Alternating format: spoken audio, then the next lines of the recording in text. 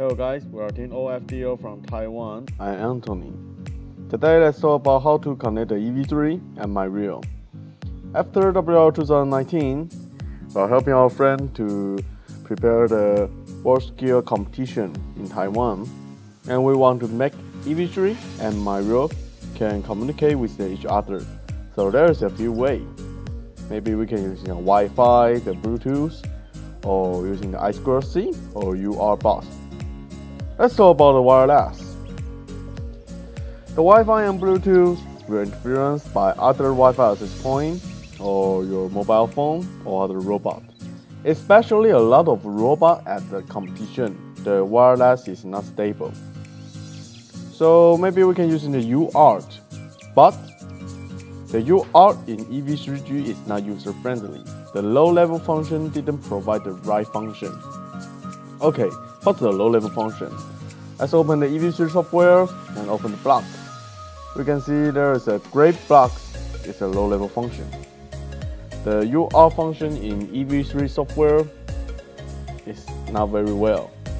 So maybe we can use the I2C. Yes, I2C is a good way, but the EV3 I2C is always mastered. I didn't find a way to make myRIO or EV3 as I2C slave. So we use a special solution.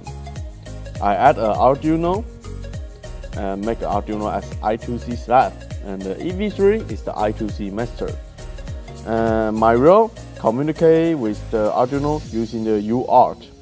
Arduino and EV3 using the I2C. Okay, let's show you. We open the EV3 software and run the read myRIO program. Okay, the default value is 88. And we open Arduino. We open the LabVIEW I/O monitor. We write uh, characters one and right. The serial monitor detects the data change. The 49 is the ASCII code of the one and we return to the EV3G, you can see the block return to 49. Okay, and we send another two. Okay, right, right successful.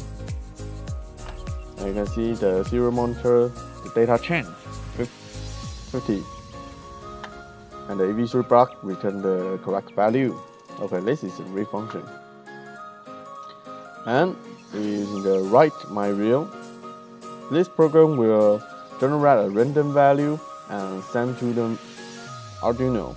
And Arduino will transfer the value to the myRIO. Let's see how it works. Run.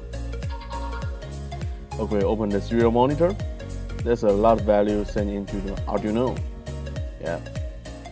And we open the I/O monitor and change it more into the read and read out the value. So the myRIO successful read out the random value sent from the EV3 to the Arduino.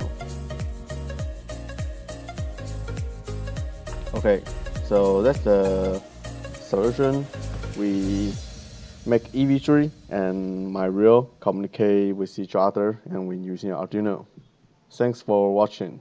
Bye bye.